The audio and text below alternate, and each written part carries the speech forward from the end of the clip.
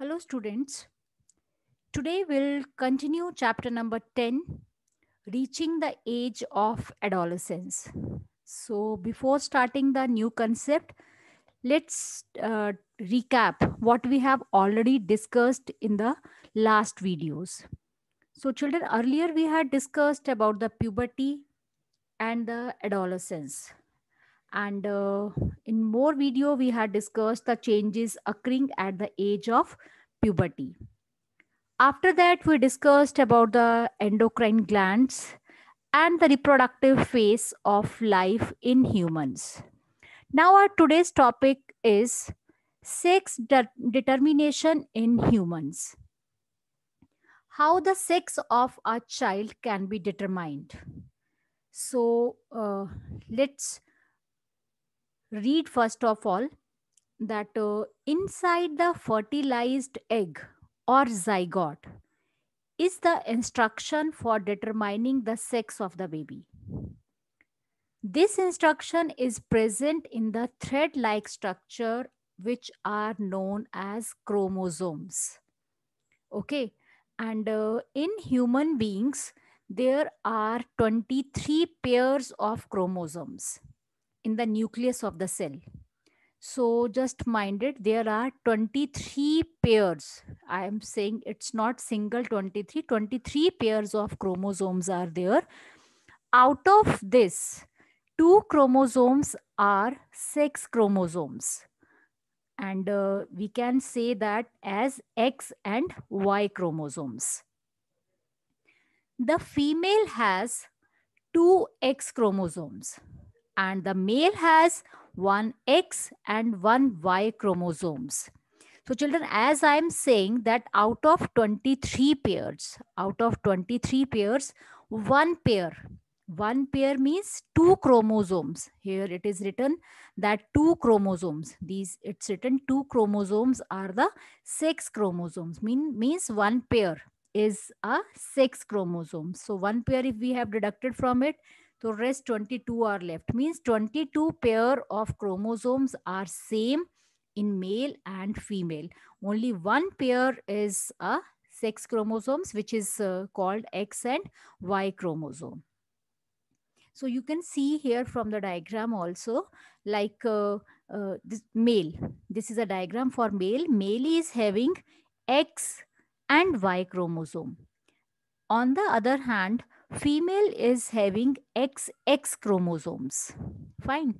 So first of all, this is a difference between the chromosomes. These are known as the sex chromosomes. Then the sperms and the eggs have one set of sex chromosomes. Some sperms have X chromosomes and some have Y chromosomes. But all eggs have X chromosomes only. So I think you have understood. The female are having the XX chromosomes. Fine. So the egg released by the females are having the XX chromosomes.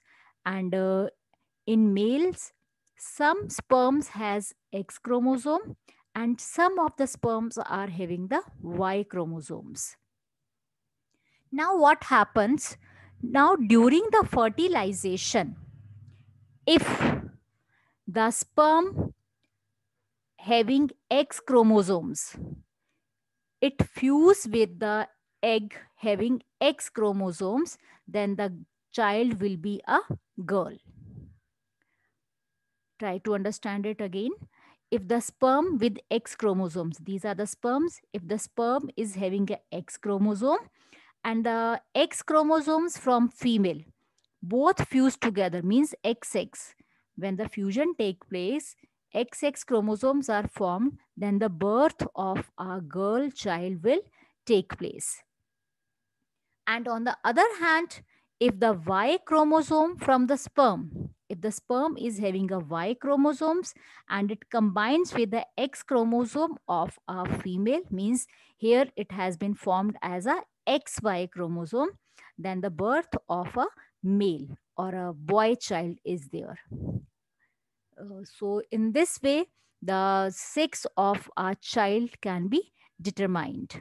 So that depends upon the fusion or during the fertilization, what type of sperms or uh, eggs they combine together that uh, determines the boy or a girl.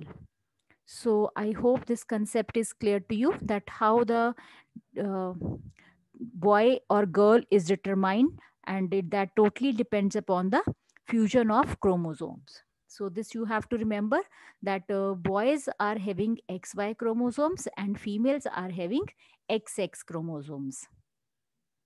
And if after fertilization and during fertilization, if XX chromosomes form, then the girl child is there. And uh, during fertilization, if X and Y fuse together, then the birth of a boy child it will be there. So in this way, the sex can be determined. Now I think uh, it's very, very clear that the sex chromosomes of the father determines the sex of an unborn baby. Uh, children, you must have heard that uh, in uh, earlier period of time, what it what was said that mothers are responsible for giving birth to girls.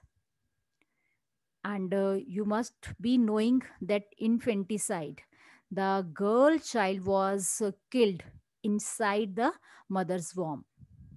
You must have heard that is uh, quite later uh, earlier it was there in earlier period of time. It was said that the mother is responsible for giving birth to a girl only.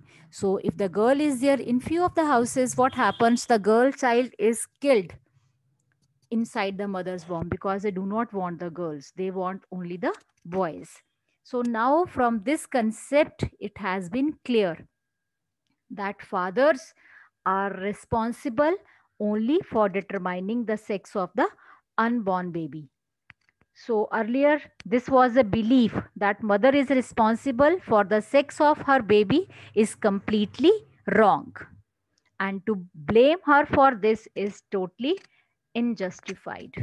So I hope now you have understood the concept that who is responsible for determining the sex of a child. Now, uh, we can't say anything to the mothers uh, i hope children this the concept of determination of a sex in the human is clear to you. You just revise it for any of the query we'll discuss it again. Thank you